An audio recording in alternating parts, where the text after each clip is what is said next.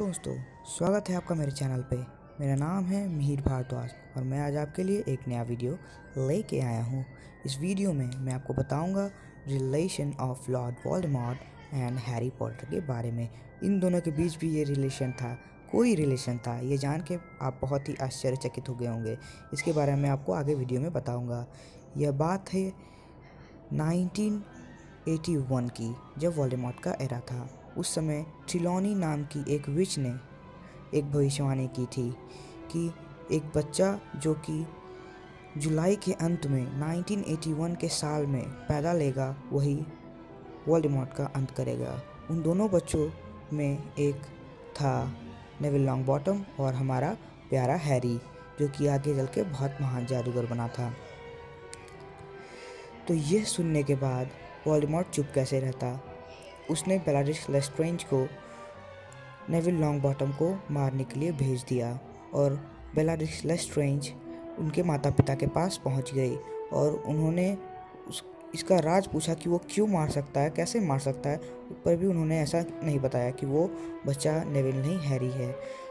इसलिए उन्होंने उसे यातना देकर उसने उसे मार दिया और फिर वोल्डेमॉर्ट खुद हैरी को मारने के लिए पहुँचा। उसने जैसे ही घर में घुसा तो जेम्स से उसकी भिड़ंत हुई। तब जेम्स के पास उसकी छड़ी भी नहीं थी। इस वजह से जेम्स वॉल्डेमॉर्ट से हार कर मारा गया। फिर उसके बाद जैसे ही नहीं, वॉल्डेमॉर्ट ने अपनी छड़ी हैरी की तरफ़ की और उसे मारने की कोशिश की। मृत्युदंड श्राप से, जो कि आवाज़ा का दाब रहा है।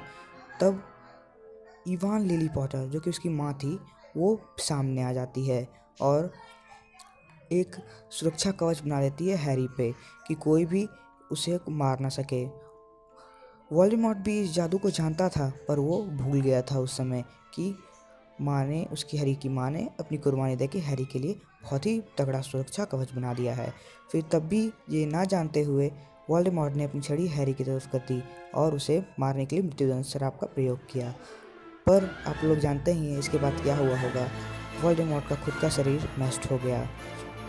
और हैरी को मिला क्या? सिर्फ़ एक स्कार हमारा छोटा सा हैरी था, इतना महान कि वोल्डेमॉर्ट भी तो कुछ नहीं उखाड़ सका। फिर उसके बाद हैरी बड़ा हो गया और चौथे ईयर में, जो कि मूवी का नाम जिस नाम से हम लोग उसे जानते हैं, जो कि गॉबलेट ऑफ़ फायर है, उसमें वॉल्डेमॉर्ट फिर वापस आता है। यहाँ से क्लाइमैक्स चालू होगा।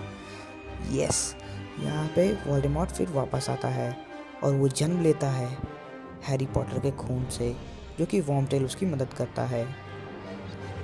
तो वह हैरी की खून से दोबारा जन्म लेता है और फिर से वोल्डेमॉर्ट का एरा स्टार्ट हो जाता है। तब वोल्डेमॉर्ट के बीच और हैरी के बीच एक डुअल होता है, पर हैरी उस समय इतना काबिल नहीं था कि वोल्डेमॉर्ट को हरा सके, इसलिए वो वहाँ से छुमंतर हो जाता है, यानी कि उड़न छू हो जाता है।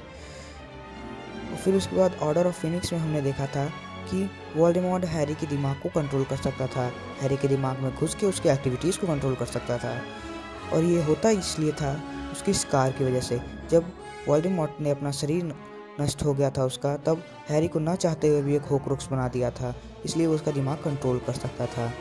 और जब फॉरबिडन फॉरेस्ट में उसने हैरी को बुला कर मारने की कोशिश की, तब उसने अपना खुद को ही एक आत्मा के टुकड़े को ख़त्म कर दिया, पर हैरी नहीं मरा। क्योंकि वो, क्योंकि उसके अंदर वोल्डेमॉर्ट का एक होक्रोक्स था। ये वोल्डेमॉर्ट नहीं जानता था और न जानते हुए ही उसने ऐसा किया होगा, ये उससे यही आशा कर सकते हैं।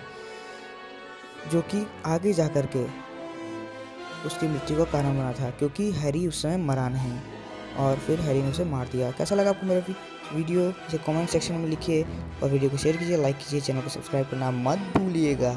और हमेशा की तरह मैंने एक वीडियो का लिंक अपने डिस्क्रिप्शन बॉक्स में डाला है, वहाँ जाकर उसे ज़रूर देखिएगा, मेरे पिछले वीडियो के बारे में, जो कि रीमस लिपिन के लाइफ पर था। Thank you for watching.